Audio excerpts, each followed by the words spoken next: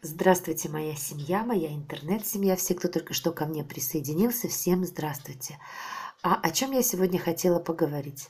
Да о том, что должен знать каждый родитель. То, что я вовремя поняла, именно вовремя. Вот смотрите, от зачатия до 12 лет родители, именно родители, не бабушка, не дедушка, не, там, я не знаю, врач, не учитель, не соцработник, никто. От зачатия и до 12, даже до 18, скажем, лет родители несут полную ответственность за ребенка во всем, что с ним происходит. Не потому, что так кто-то сказал или написал, а потому что ребенок энергетически и информационно, они детки, они полностью подчинены родителям. Мать. Ну, мать отвечает за то, как ребенок себя чувствует. Это энергетика тела. Отец. Отец отвечает за то, что с ребенком происходит, событийность, а также за то, как себя чувствует мать. Не знаю, отцы поняли, о чем я и к чему? В конечном итоге вы отвечаете за всех. Вы являетесь пастором в семье. Именно пастором. Так написано в Библии, что э, жена подчинена мужу. Понимаете? Но это не значит, я властный, жрать тебе сказал. Нет, не так. В Библии муж – это партнер. Партнер и пастор в семье. Вы где-нибудь видели пастора с плеткой? Смотрите, в большинстве болезней, я еще раз хочу повторить, в большинстве болезней виноваты женщины. Виноваты, потому что с их рук получают пищу их семья, в том числе и супруг. От момента зачатия и до 12 лет, подчеркиваю это, начинается и длится строительство тела ребенка. Мать является единственным источником строительного материала до момента рождения и энергетики ребеночка. То, что в период беременности не надо пить, курить, колоться, обедать в Макдональдсах, это и всем понятно, да? Отрава есть отрава, но, но есть то, о чем родители не знают – формирование тела напрямую связано с психикой женщины. Настолько напрямую, что никакие яды не способны нанести столько вреда ребенку, сколько мать психопатка и неврастеничка. Вот посмотрите, детки, детки от этого очень сильно страдают. И ушки закрывают, и отворачиваются, убегают. И независимо от того, богатая разбогатая или нищая разнищая, или какая бы ни была, если она психопатка, то это опасный человек не только для общества, но в первую очередь оттуда надо спасать ребенка. И я считаю, нужно в таком случае сообщать и соседям на эту маму, чтобы ее привели в чувство. Очень часто психопата можно встряхнуть даже органами, даже органами милиции, например. Просто встряхнуть. Она тогда поймет, что она вообще-то не царь и не бог, а она просто один из участников. Когда рождалось дитё, участвовали трое. Муж и жена. Они думают, все, нет. Господь Бог, Святой Дух, кто душу вкладывал в этого ребенка. Вот он, участников было трое на самом деле. Беременность, она должна протекать спокойно. Что делала я? Я когда-то вычитала, что нужно смотреть на все красивое. Я ходила и смотрела на украшения, на цветы, я любовалась природой и так далее. То есть на все самое красивое, чтобы э, психику свою не тревожить ничем. Боже упаси смотреть телевизор в этот период. Боже упаси. Вся пси, все психические отклонения в период беременности, все стрессы, все это откладывается в ребенке нарушением в строении тела. В период беременности мать должна быть железобетонно спокойна и позитивна, жить в ожидании радости от скорого появления на свет своего ребенка. Что женщина испытывает? То она в ребенка и заложит. Это аксиома, с которой спорить бесполезно. Многие думают, ну где же взять такую счастливую семью, вот как на картинке? Но где же ее взять? Слушайте, после рождения ребенок до 12 лет, он связан с матерью энергетической пуповины, так сказать. Мать полностью контролирует его внутреннее состояние. Даже если беременность протекала спокойно. После рождения, особенно если это первый ребенок, по себе знаю, мать впадает в состояние, как назвать, прыщик на попе, что ли, скорую немедленно – это гипертревожность. Гипертревожность. И вот тут, когда такое состояние, я не представляю, как женщина может жить и ниоткуда, вот представьте, она сама, ниоткуда не брать силы, не черпать.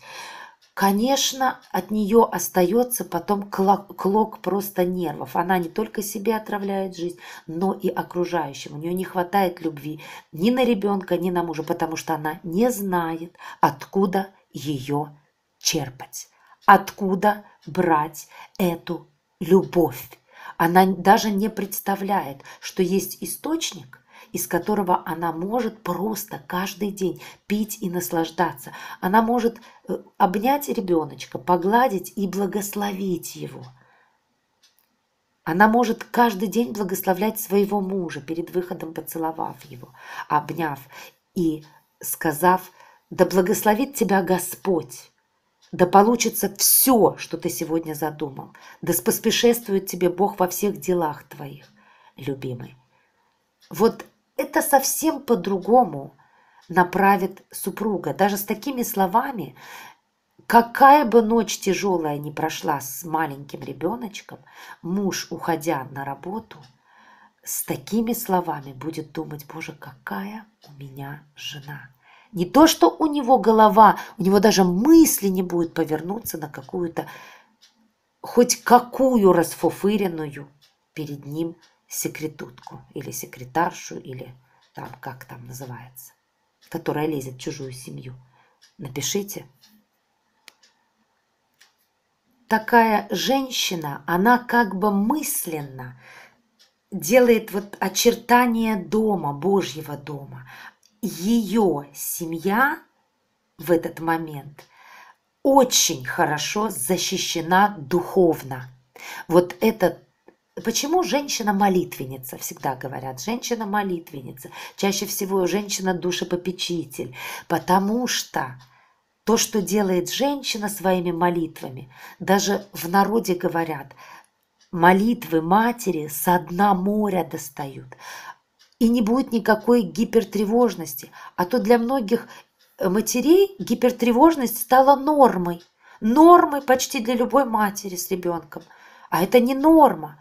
Другие думают, это банальный инстинкт. Какой банальный инстинкт? Какая норма? Всю тревожность, которую мать испытывает за ребенка, она как насосом накачивает в него, в него самого. Она как насосом вкачивает в свой дом, в своего мужа. И потом, рано или поздно, этот шарик лопнет. Если у вас вот такая модель поведения, если вот видите, здесь дети держатся за руки, отец как пастор благодарит Бога за ту пищу, которую Бог дает им на сегодняшний день, то дети, которые растут в этой семье, они уже понимают, что это благодать, это не просто так, что кроме вот папы, мамы, кто-то есть еще – раз кому-то говорят спасибо. Какие-то духовные силы работают, которые мы можем не видеть, но они есть. Ведь родители отдают этому, и это потом сыграет свою роль, и немаловажную, а самую важную. Качество духовной жизни, которую ребенок получает от матери, от родителей, регулируется ее состоянием, от матери состоянием. Вы знаете, вот сейчас посмотришь, поликлиники полны тревожных женщин, у которых все дети болеют непрерывно. Школы полны детей с медкарточками толщиной, я не знаю, в три учебника. Причина одна и та же – состояние родителей. Да? вот эти вот нервные стрессы, нету духовной защиты, абсолютно нету. Если вы понимаете, что все ваши болезни, они там уже вознесены, понесены, и все ваши грехи прощены, если вы это знаете, вы уже в спокойствии.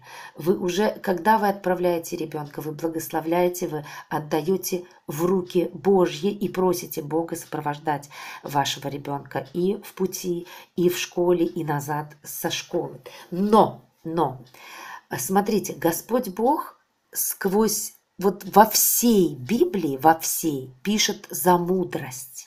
Причем вот настоятельно, особенно если вы откроете притчи. Там почти на каждой странице написано за мудрость. Мудрость, мудрость, мудрость, мудрость.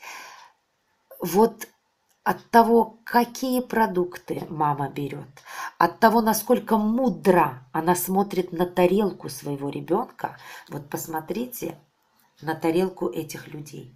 Посмотрите.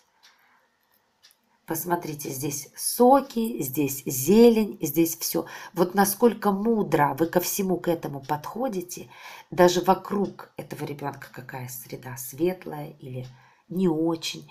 Вот все, абсолютно все это действует на иммунитет.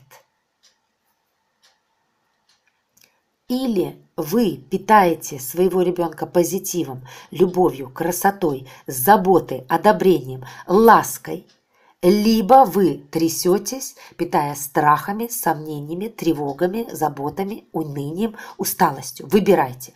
Значит, если вы позитив, любовь, забота, одобрение, ласка, э, Господь Бог, если вы этим питаете ребенка, это совсем будет другой ребенок либо вы его питаетесь страхами, сомнениями, тревогой. Выбирайте.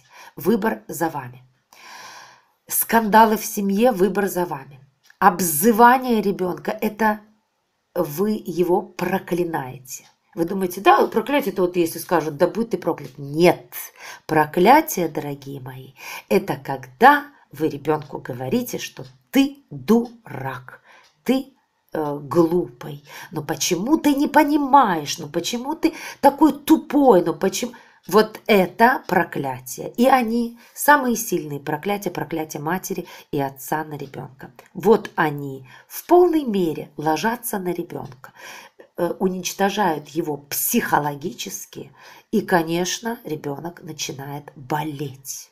Он сначала э, боится, потом у него злость возникает, питается он духовно только скандалами, и все, мать на взводе, ребенок будет получать внутрь злобу, гнев, раздражение, и все это будет моментально отражаться на его органах. Вы, наверное, слышали такое изречение даже от врачей. Все болезни от нервов. Это неправильное изречение, это изречение атеистов. А если вы верующий человек, вы понимаете, какие нервы. Ну, нервы, нервы, у всех есть нервы, у всех есть нервные окончания. А все болезни от злобы. Это будет правильно.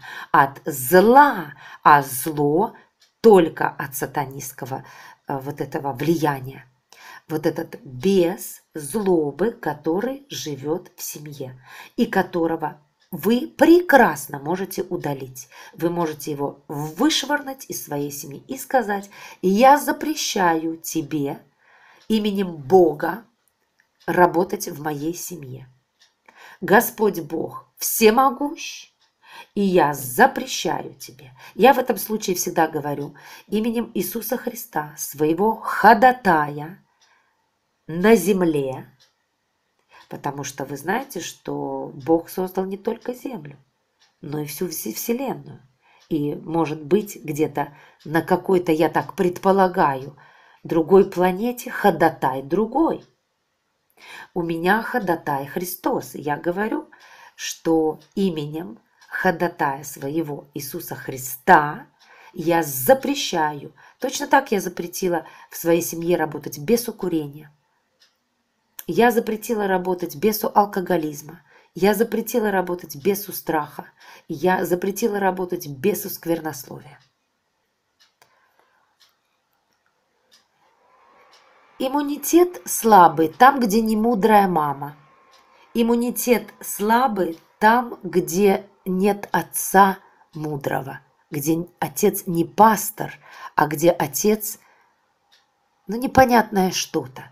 Оно, может, и работает, но оно приходит ему, э, знаете, его как клеем приклеивают к креслу или там к дивану, я не знаю, и он смотрит на кинофильм и так далее. О том, чтобы ходить по воскресеньям в церковь, духовно наполняться. Да об этом даже речи нет в постсоветском пространстве.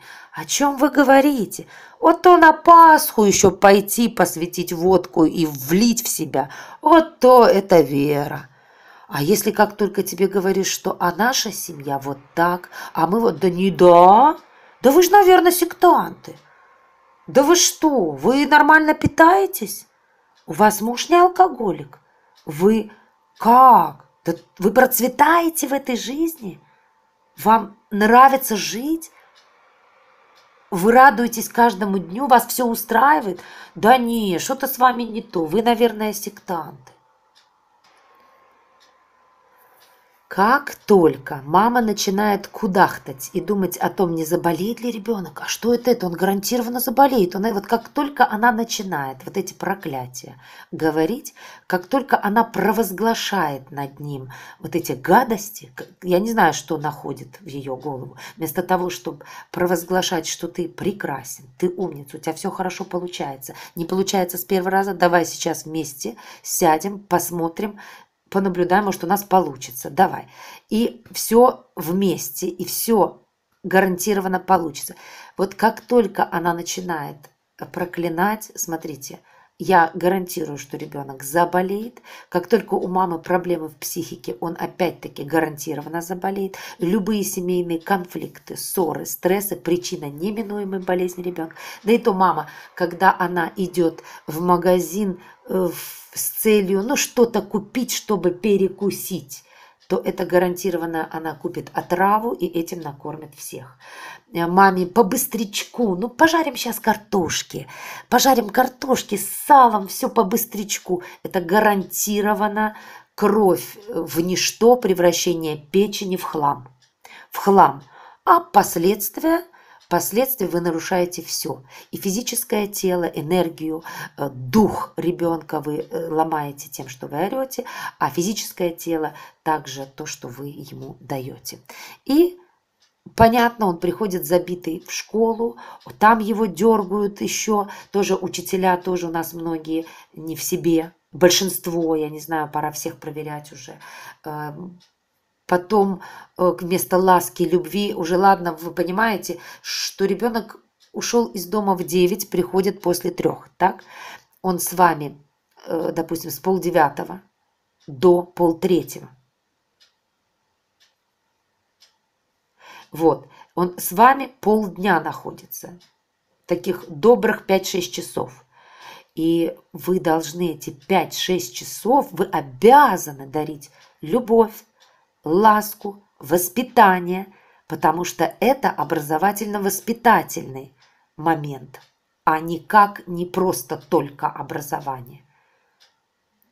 Вы влияете на этого ребенка. Так вот, повлияйте так, чтобы каждый из ваших 30 деток получили максимально любви, максимально радости, максимально позитива, и только тогда они смогут усваивать материал. Только в играх, только в улыбке, только в радости, только в любви. Ведь есть учителя, которых дети любят. И они с удовольствием идут на их уроки. Они их любят. А раз они их любят, то поверьте мне, если учитель скажет, пожалуйста, потише, я вас очень прошу, то детки будут сидеть тихо. Отец, отец Ключевая фигура, влияющая на здоровье в семье, на здоровье детей. Дети тянутся к отцу, особенно мальчики. Ну и девочки тоже, конечно же. Причина очень и очень проста. Именно отец, он пастор. Так по Библии, так по Божьему. Он главный. Он управляет тем, в каком состоянии находится мать. А от матери зависит состояние, конечно же, и дальше членов семьи.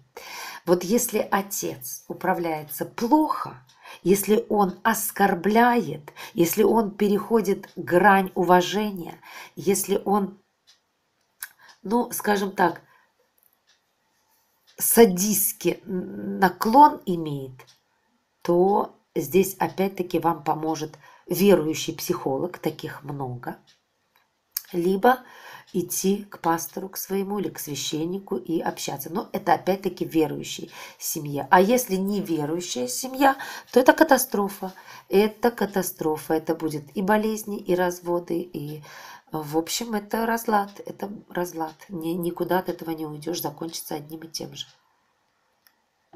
Задача отца всегда найти правильный выход из ситуации. Не орать и тем более не прикладывать руку. Вы что? Если э, мужчина поднял руку на женщину, все, все, на этом до свидания. Расходятся оба. Прощаются и расходятся. Все. Э, только садист и мазохист могут жить вместе. Все. А все остальное не может. Нет. Все. Это значит все. Вы довели до той точки, которая не имеет возврата. Это точка невозврата. Все. Ну, это мое субъективное мнение. Все, что бы я ни говорила, не воспринимайте на себя. Это чисто субъективное мнение.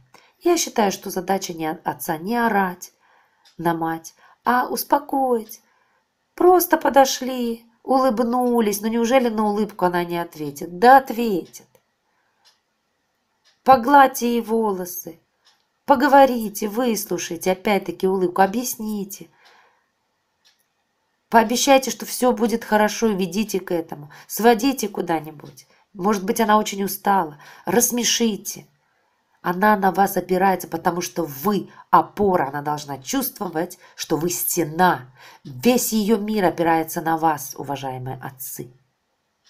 Если муж сказал, значит, так оно и будет. Самое страшное, когда муж говорит, как у нас говорят, казала мазала, казала мазала, что говорит, что об стенку горох. То есть его слово ничего не значит, то это с таким мужем тоже не советую, вообще не советую. И мужчина должен, сказал, сделал. И вот, вот все другое для меня это не мужчина. Муж управляет всей событийностью в доме. Подобно тому, как жена управляет состоянием деток и питанием, и вашим состоянием физическим, э, соображает празднички, какие-то традиции, красоту, уют и так далее. И также является тоже подпоркой мужу. То есть она не должна опускать руки и говорить, ой, у меня муж работает, я не работаю. Нет, подпорка Обязательно женщина должна работать. Но это опять-таки мое субъективное мнение. Но если у женщины много детей, к примеру, не один, не два, тогда, конечно, тогда, конечно. Либо какую-то деятельность вести женщина должна, иначе она себя потеряет.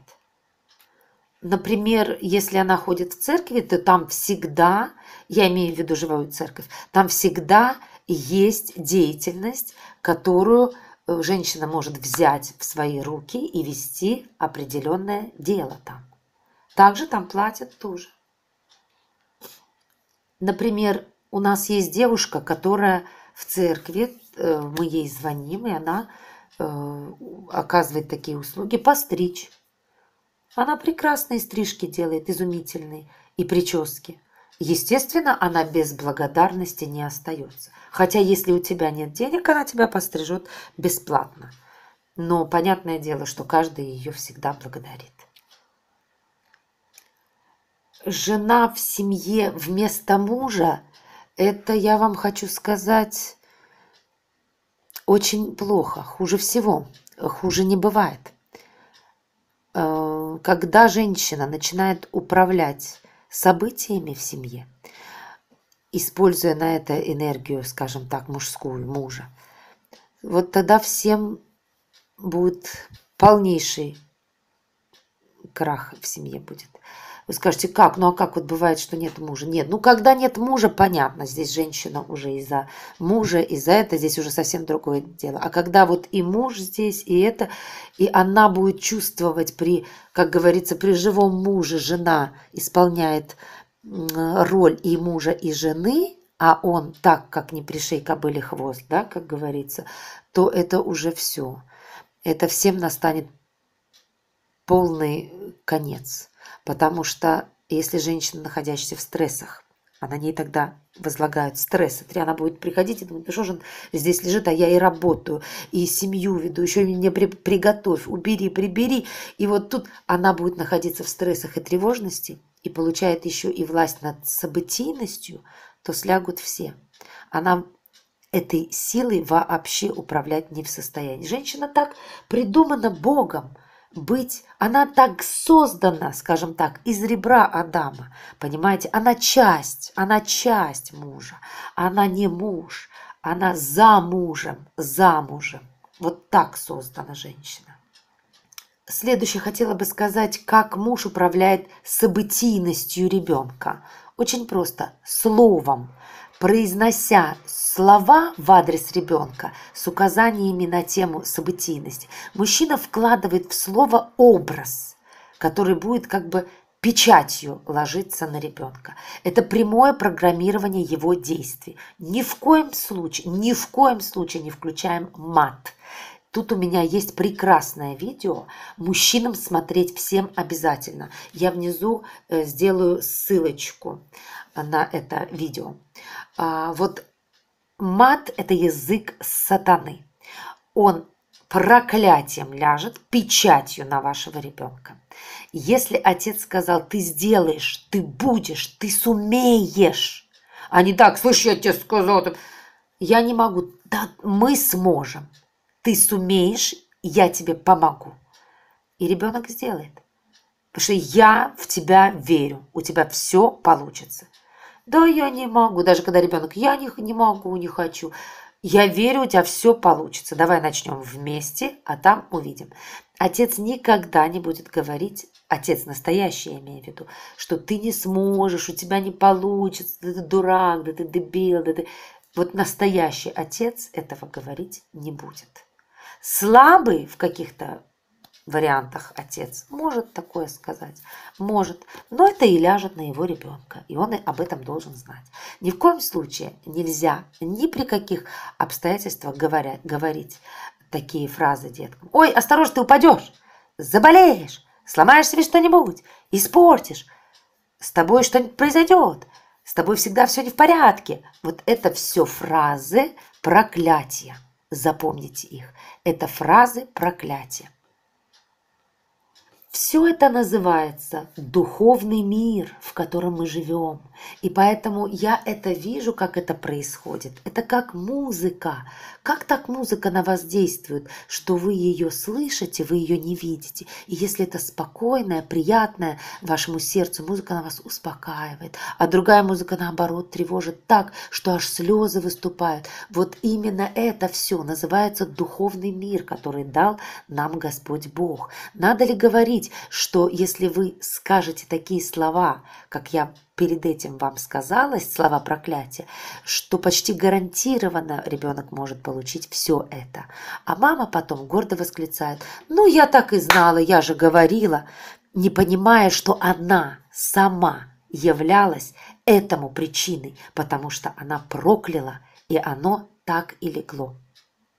Вот это, как э, психологи любят говорить, программирование событийности. Дорогие мои, не придумывайте слова. Это все описано в Библии, что следите за своими словами. Мне нравится, как в Библии говорится про язык. Язык глупого – гибель для него, и уста его – сеть для души его – Слова наушника как лакомство, и они входят во внутренность чрева.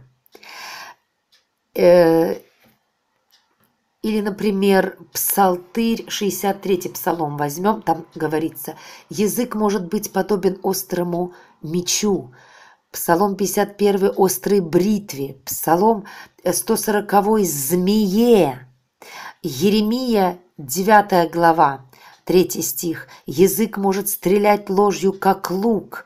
А, Еремия 9 глава 8 стих. «Язык их – убийственная стрела». Вот не делайте свой язык использованием оружия нападения, как написано Еремия в 18 главе в Библии. Не делайте его стрелою убийственной для своего ребенка. А я вас всех благословляю. Будьте здоровы, будьте благословенны, и пусть в вашей семье всегда будет мир, любовь, покой, радость и благодать Божья.